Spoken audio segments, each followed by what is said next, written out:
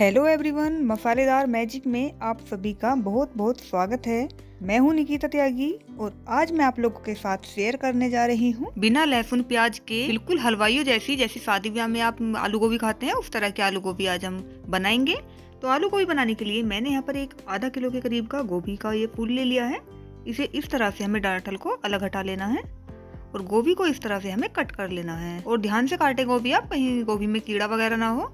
तो इस तरह से गोभी को काट लेना है और काटने के बाद इसे हमें अच्छे से वॉश करना है। क्योंकि जैसे मैंने भी आपको बताया कि गोभी में बहुत बार कीड़े आ जाते हैं तो आपको इसे अच्छे से धोना है। धोने से पहले आपको इसे पानी में भिगो के रखना है। चलो मैं बताती हूँ आपको किस तरह से करना है। तो मैंने यहाँ पर गोभी को अच्छे से यहाँ पर इस तरह से कट कर लिया है। अब लिया है मैंने एक बाउल में थोड़ा गुनगुना सा पानी, यानी थोड़ा हल्का गर्म पानी ले लिया है मैंने। और उसमें थोड़ा सा मैंने नमक डालकर इन सभी गोभी के पीसों को इसमें ऐड कर दिया है। इस तरह से। तो सारी गोभी हमने डाल दी है, पानी थोड़ा कम रह गया है तो मैं थोड़ा सा गर्म पानी इसके ऊपर से और डाल देती हूँ। इस तरह से। और इसे थोड़ी देर के लिए हम ऐसे ही रखेंगे। जितने हमारी ये गोभी रखी है यहाँ पर, इतने हम आलू भी कट कर लेते हैं। तो मैंने यहाँ पर चार से पाँच आलू कट कर लिए हैं इस तरह से मोटे मोटे पीसीस में ही। तो गोभी और आलू हमारे कट हो गए हैं। इन्हें मैंने दोनों को ही पानी में डाल के रखा हुआ है। इसे साइड हटा देते हैं।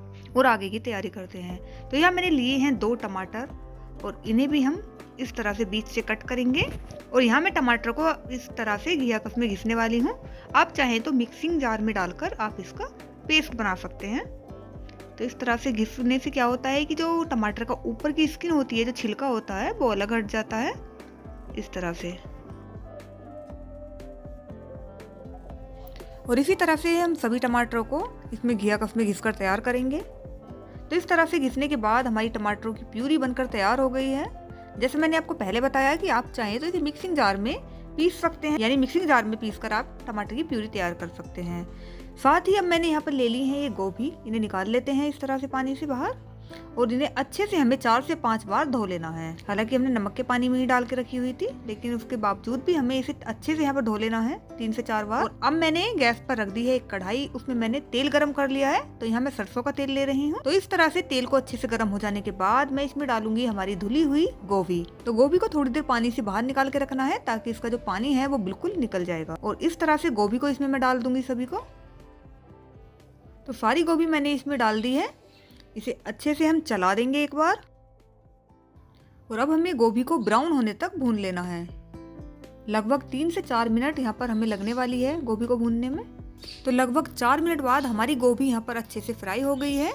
गोभी का जो कलर था वो गोल्डन हो गया है। तो अब निकाल लेंगे गोभी को हम इस तरह से। तो इस तरह से मैंने इसमें गोभी को निकाल लिया है, जिससे कि इसका जितना भी एक्स्ट्रा का ऑयल होगा वो निकल जाएगा।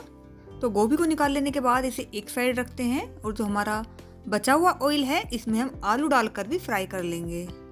तो आलू को यहाँ पर मिक्स कर दूँगी मैं और इन्हें भी हम गोल्डन होने तक भून लेंगे। बीच बीच में चलाते रहेंगे। आलूओं को फ्राई करने में भी लगभग तीन से चार मिनट का टाइम लगने वाला है। तीन से चार मिनट में हमारे आलू भी फ्राई हो गए हैं तो इन्हें भी निकाल लेंगे इस तरह से। आलू को एक तरफ़ रख देते हैं ताकि इसका एक्स्ट्रा ऑयल निकल जाए। और अब जो कढ़ाई में हमारा तेल बचा हुआ है, ये बहुत ज़्यादा है सब्ज़ी बनाने के लिए तो इसमें भी मैं जितना भी तेल एक्स्ट्रा का है, उसे निकाल लेती हूँ। और इसमें हम चार से पाँच चम्मच के करीब में तेल बचा के रखेंगे सब्ज़ी बनाने के लिए। क्योंकि हमने आलू और गोभी जो है उन्हें फ्राई कर लिया है, उनमें भी काफ़ी ऑयल है तो ऑयल इसलिए हम यहाँ पर थोड़ा ही रखेंगे। तो इस तरह से मैंने यहाँ पर चार से पाँच चम्मच ही ऑयल बचा के रखा हुआ है। तो ऑयल यहाँ पर गर्म ही है तो गर्म ऑयल में डाल देंगे हम यहाँ पर दो तेज पात के पत्ते। इस तरह से ये लिया है, मैंने यहाँ पर थोड़ा सा जीरा, इसे भी भून लेंगे। जीरा भुन जाने के बाद अब डालेंगे इसमें हम चॉप हुए हमारे टमाटर, यानी हमारी जो टमाटर की प्यूरी है, हमने चॉपर में चॉप किए थे, उसे भी डाल देंगे इस तरह से। अब हमने इसमें टमाटर डाले हैं तो टमाटर के साथ ही जाएगा इसमें नमक, ताकि हमारे टमाटर अच्छे से गल जाए। नमक से टमाटर बहुत जल्दी गल जाएँगे। तो इस तरह से हम इसे मिक्स कर लेंगे और इसे भी हम फ्राई कर लेंगे। और अब डाल रही हूँ इसमें कुछ सूखे मसाले, जैसे कि मैंने आधा चम्मच हल्दी पाउडर डाला है, आधा चम्मच धनिया पाउडर, आधा चम्मच लाल मिर्च पाउडर, और ये थोड़ा सा इसमें मैंने गरम मसाला ऐड किया है। इसे अच्छे से मिक्स कर लेंगे इस तरह से। आपने यहाँ पे नोटिस किया होगा कि मैंने इसमें कोई भी एक्स्ट्रा का मसाला ऐड नहीं किया है। मतलब सिंपल तरीके से हम यहाँ पर सब्ज़ी बना रहे हैं। जैसे कि हलवाई लोग बनाते हैं ना, वो भी इसी तरह से सब्ज़ी बनाते हैं, लेकिन उनकी सब्ज़ी का जो स्वाद होता है वो काफ़ी टेस्टी होता है। तो इसका रीज़न यही होता है कि वो आलू और गोभी को जो है ना पहले फ्राई कर लेते हैं इस तरह से। और जो मसाला हम यहाँ पर भून रहे हैं ये, इस मसाले को हमें तब तक भूनना है जब तक कि तेल मसाले से अलग ना हो जाएगा। अगर आपने यहाँ पर मसाले को अच्छे से नहीं भुना तो आपकी सब्ज़ी में स्वाद नहीं आने वाला है। यानी टमाटर अगर कच्चे रह जाते हैं तो सब्ज़ी ना मतलब अजीब सी लगती है, खाने में टेस्टी नहीं लगती है, इसलिए यहाँ पर हमें मसाले को अच्छे से भून लेना है और भून लेने के बाद ही हम आगे की तैयारी करेंगे कि जैसे कि हमारा यहाँ मसाला भुन गया है, तेल अच्छे से छोड़ दिया है मसाले ने तो मैं इसमें डाल रही हूँ यहाँ पर हमारे भुने हुए आलू और गोभी इस तरह से। इसे भी बढ़िया करके हमें मिक्स कर लेना है इस तरह से और अच्छे से मिक्स कर लेने के बाद इसके ऊपर से मैं डालूँगी यहाँ पर थोड़ा सा पानी, यानी एक चौथाई कप मैं यहाँ पर पानी डाल रही हूँ। हल्का सा पानी हमें डालना है ताकि हमारी सब्ज़ी तले में लगे ना।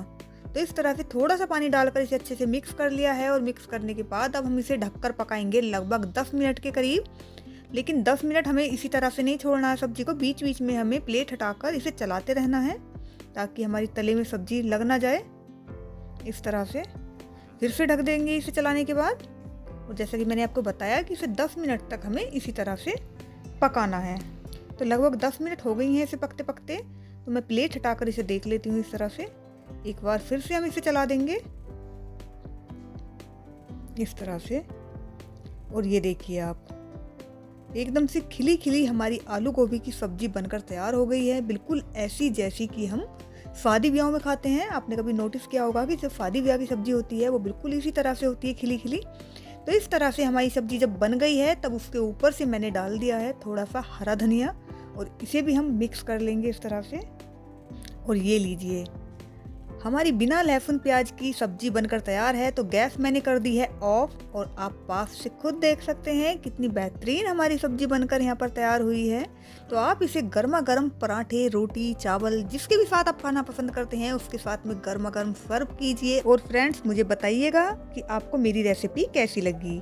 वीडियो अगर अच्छी लगी हो तो प्लीज़ वीडियो को लाइक, शेयर और चैनल को सब्सक्राइब करना ना भूलें। तो चलिए मिलते हैं नेक्स्ट वीडियो में किसी नई रेसिपी के साथ। तब तक के लिए बाय बाय टेक केयर।